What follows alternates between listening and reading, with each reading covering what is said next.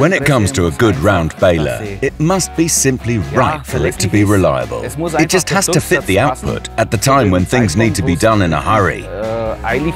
And I can then slow down again. But it also has to be powerful so that I can move forward.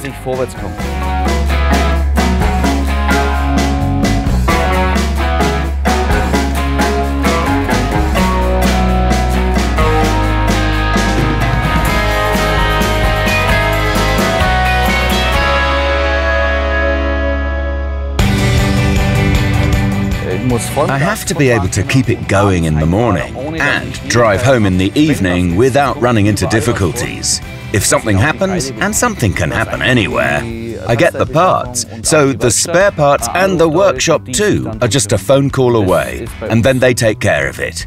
And that is a given with us. And the shanks perform as expected as well. So I've never once had to change a shank. And this is my fourth year in the league and in baling.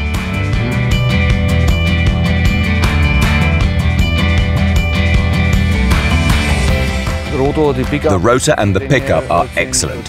For the transfer and of course the baling process too, I still have great bales even in fast baling. That's important to me.